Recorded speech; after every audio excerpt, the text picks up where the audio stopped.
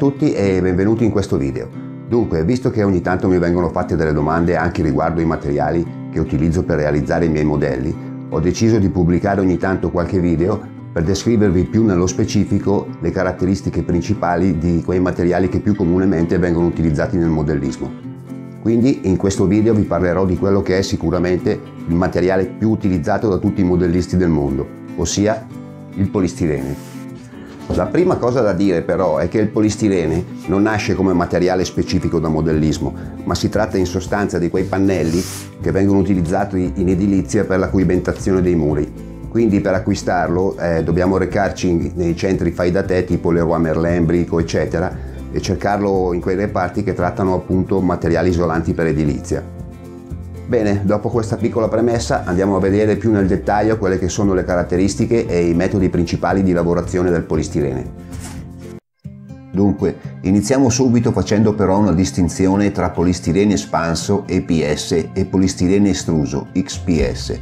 Il polistirene espanso EPS è quello che viene chiamato più comunemente polistirolo e viene utilizzato soprattutto per gli imballaggi. Presenta una consistenza molto friabile con il classico aspetto a pallini.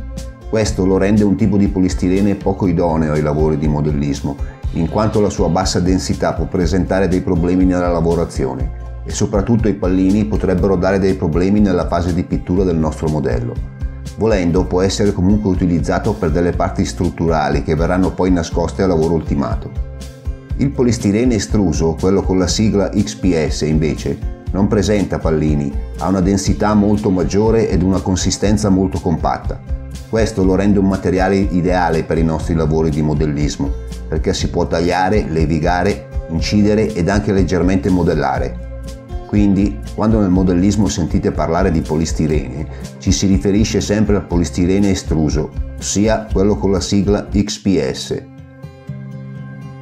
pannelli di polistirene solitamente hanno una dimensione di 120 x 60 cm, con degli spessori che vanno da un minimo di 2 cm fino ad arrivare anche a 8-10 cm di spessore. Si può trovare in diverse colorazioni che vanno dal bianco al giallo, ma anche blu o verde, a seconda delle marche e della differenza di densità. Io riesco a trovare più facilmente quello di colore bianco, ma comunque in linea di massima possiamo dire che il colore non ha molta importanza. Tutti questi tipi di polistirene vanno bene per i nostri lavori di modellismo. L'importante è che sia polistirene con la sigla XPS. Iniziamo ora con l'operazione di taglio del pannello. Per effettuare i primi tagli dal pannello completo possiamo aiutarci con un metro per tracciare una linea parallela al bordo.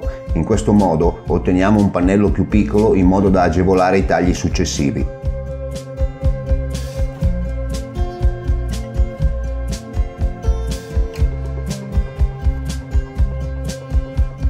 Per tracciare le linee può essere utile anche una squadra di dimensioni medio-grandi, in modo da riuscire agevolmente a tracciare delle linee di taglio dal pannello completo, mentre con una squadra più piccola possiamo tracciare le linee secondarie dai pezzi più piccoli. Una volta tracciate le linee alla misura desiderata, per tagliare delle linee dritte sul polistirene basterà utilizzare un semplice taglierino come questo. Vi consiglio di utilizzare sempre lame ben affilate, perché contrariamente a quello che si potrebbe pensare, il polistirene, nonostante sia un materiale abbastanza morbido, rovina molto in fretta le lame del taglierino. Per effettuare il taglio io di solito mi aiuto con una tavoletta di legno di un certo spessore, in modo che fornisca un appoggio alla lama per ottenere in questo modo dei tagli il più perpendicolari possibile. Una delle cose più importanti in questa fase è quella di non cercare di effettuare il taglio in un'unica passata, ma ripetere più volte l'operazione affondando sempre di più la lama ad ogni passata, in modo da ottenere un taglio molto più pulito, perpendicolare e soprattutto senza strappi. Una volta che abbiamo effettuato i primi tagli dal pannello grande col taglierino, per effettuare i tagli di rifinitura possiamo utilizzare una lama a calda con banchetto in questo caso io sto usando il termocutter della Proxon, che per questo tipo di lavori col polistirene è davvero molto comodo. Magari in un prossimo video vi farò una recensione più dettagliata del termocutter, entrando più nello specifico per illustrare le varie possibilità di lavorazione che si possono effettuare con questa macchina. Per ora vi dico solo che se volete sfruttare al meglio le possibilità di modellazione del polistirene, non potrete fare a meno di munirvi di una lama a caldo con banchetto come questa. Passiamo ora a descrivere quella che forse è una delle caratteristiche più importanti del polistirene, che sicuramente lo ha reso uno dei materiali più utilizzati nel modellismo, ossia il fatto che si possa anche leggermente modellare. Ovviamente il suo grado di modellabilità non è assolutamente paragonabile alle classiche paste modellabili, ma se per esempio dobbiamo simulare un muro in pietra, con la tecnica dell'incisione si possono ottenere degli ottimi risultati anche molto realistici. Con l'utilizzo di un coltellino a punta e una semplice penna a sfera possiamo andare a modellare in maniera molto semplice un muro in pietra o mattoni. Basterà tracciare il disegno del nostro muro sul polistirene e poi, dopo aver inciso leggermente con il coltellino le linee di fuga tra una pietra e l'altra, passare con la penna a sfera.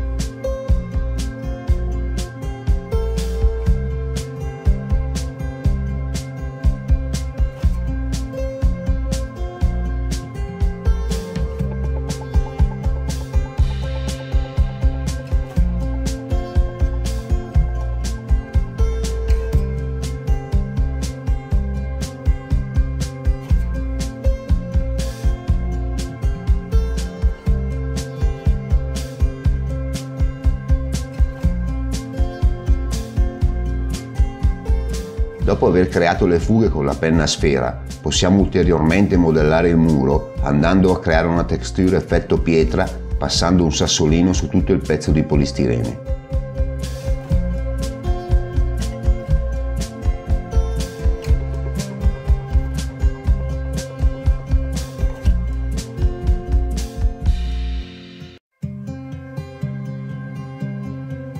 Ecco infine il risultato finale che possiamo ottenere con la tecnica dell'incisione. In sostanza abbiamo letteralmente scolpito un muro in pietra su un pezzo di polistirene.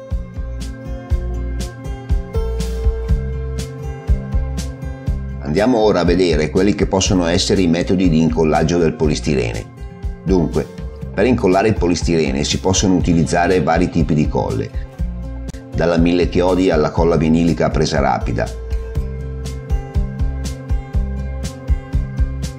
oppure potete utilizzare anche il classico Binabil, quello che si può trovare anche in cartoleria.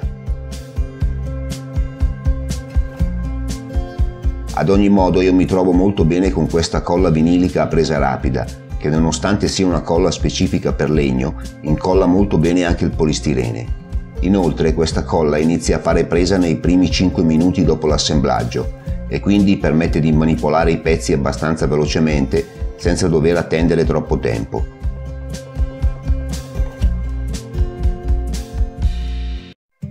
Tenere i pezzi in posa durante l'incollaggio possiamo utilizzare dei semplici spilli da sartoria, oppure anche dei comuni stuzzicadenti.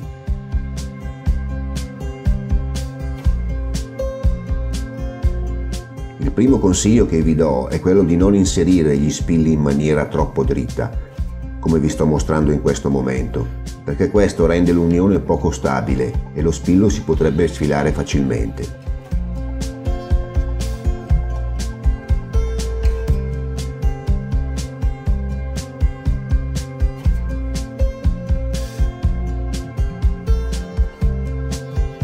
Cercate invece di inserirli sempre in diagonale rispetto all'angolo di giuntura, Questo contribuirà a rendere l'unione sicuramente molto più stabile.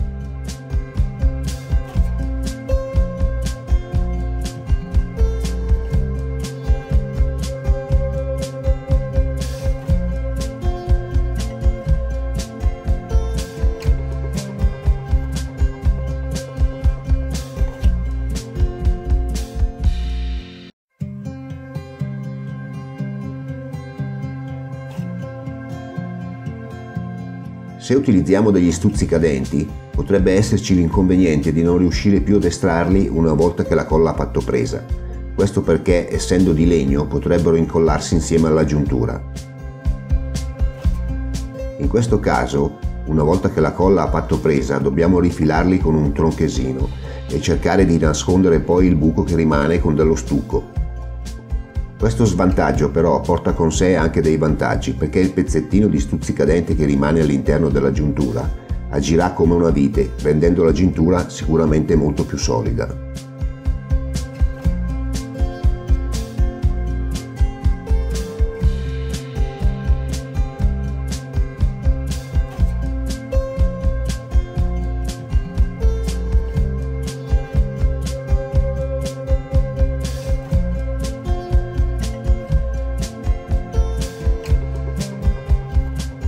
Che vi voglio mostrare ora è un sistema che permette di ottenere un incollaggio più rapido senza usare né spilli né stuzzicadenti.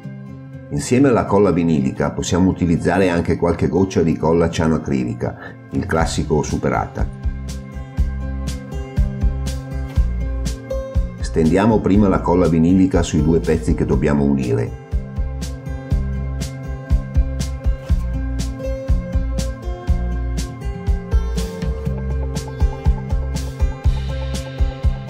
poi andiamo ad aggiungere qualche goccia di superata.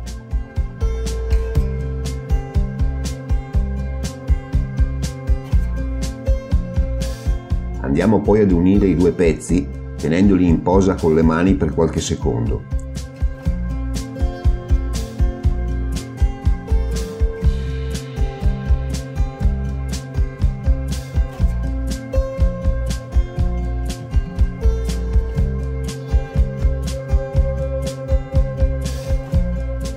Questo modo riusciamo ad ottenere un incollaggio molto rapido, potendo fare a meno di spilli e stuzzicadenti.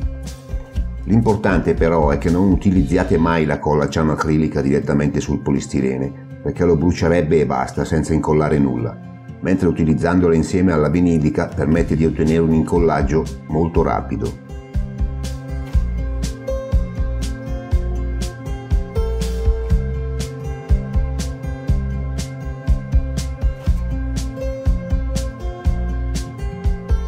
Bene, il video si conclude qui, spero di essere riuscito a descrivere in maniera chiara quelle che sono un po' le caratteristiche principali e i metodi di lavorazione del polistirene.